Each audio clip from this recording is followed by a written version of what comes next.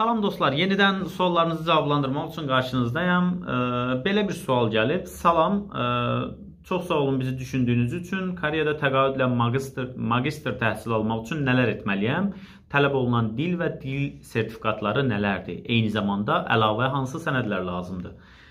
E, çox gözəl sualdır. Bu yəni bu sualı cavablandırmaq üçün ilk başdan demək istəyərdim ki, Koreyada e, təqaüdlə magistr təhsili, yəni mən özüm şəxsən Koreyada həm bakalavr, həm də magistr təhsil almışam. Hər ikisi təqaüdlə. Təqaüdlə tə, magistr təhsilini təqaüdlə Koreyada almaq üçün nə etmək lazımdır? İlk öncə bunu vurğulamaq istəyərdim ki, təbii ki, əgər siz Korey dilində danışa bilirsinizsə, yəni Korey dilində ə, yüksək səviyyədə danışa bilirsinizsə, sizə təqaüd şansları çoxdur. Bundan əlavə, əgər ə, Korey dili bilmirsinizsə, ingilis diliniz ə, yüksək səviyyədədirsə, ə, təqaüd alma şanslarınız var. Tələb olunan dillər tələb olunan dil, yəni ya ingiliscə, ya koreycə ikisindən birini çox yaxşı bilməlisiniz ki, təqaüd ala biləsiniz.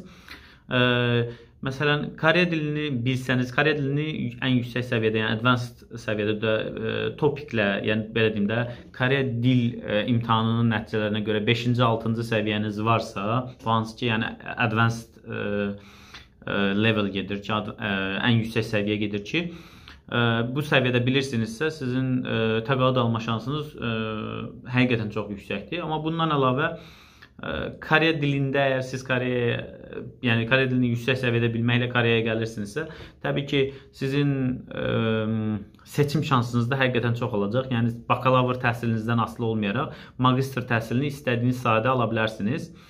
Bundan əlavə ingilis dilində əgər siz ingilis dili nəticəniz yüksək səviyyədə ingilis dili nəticəniz varsa, IELTS, TOEFL, TOEIC və s. yəni belə deyim də, nəticə hər hansı bir ingilis dili imtahanından yüksək nəticəniz varsa, onda sizin ə, təbii ki, ingilis dilində ə, tədris verən universitetlərdə təqaüd alma şansınız var. Ə, yəni buna misal olaraq KAIST, ə, SNU, yəni Seoul National University olsun və s.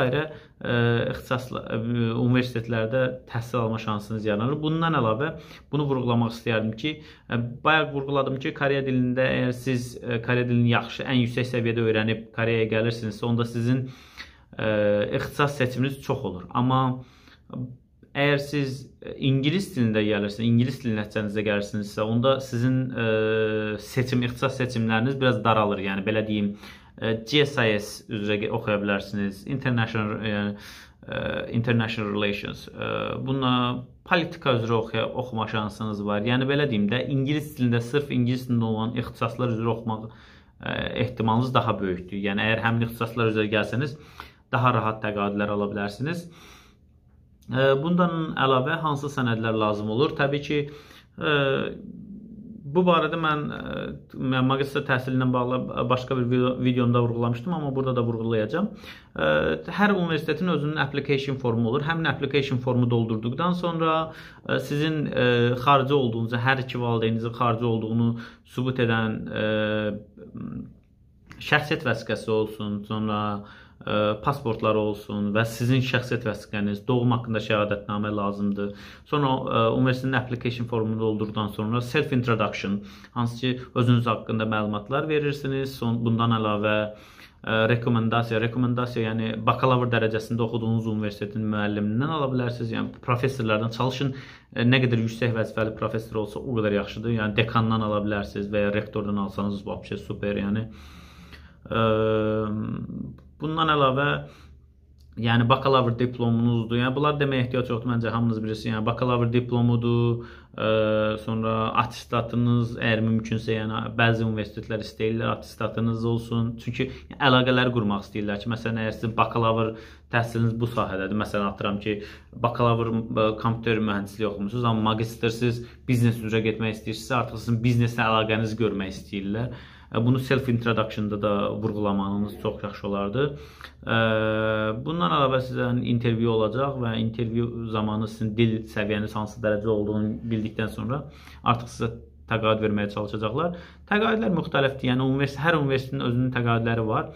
Ə, gələcəkdə bu barədə videolar hazırlayacağam ki, hansı universitetdə hansı təqaüdə necə ə, belə deyim sənəd vermək olar, amma Belə deyim də izləyicilərin sayı artdıqca artıq bu barədə məlumatlar verməyə çalışacağam. Belə dostlar, sizin də əgər əlavə sualınız və ya belə deyim, sizə maraqlı olan məlumatlar varsa, buyurun komment olaraq yaza bilərsiniz və çalışacağam ki, qısa zamanda cavablandırım. Sağ olun, özünüzə yaxşı baxın. Sağ olun.